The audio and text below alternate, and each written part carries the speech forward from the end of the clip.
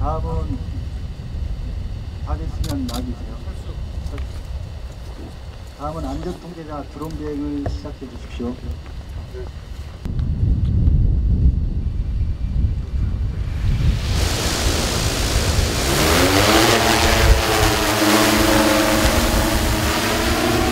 모듈레이션 20 나옵니다. 80각도 3도로 하강하는 것들을 시연 보여드리도록 하겠습니다. 그럼 나와요. 나오지? 네. 이쪽 신호는 활주로 항공기가 이동하고 있습니다.